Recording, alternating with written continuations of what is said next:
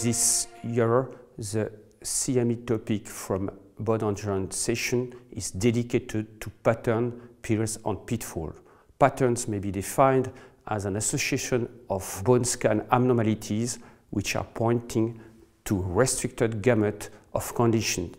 Pitfalls may be defined as an erroneous association of abnormalities with misleading but avoidable uh, diagnosis hypothesis.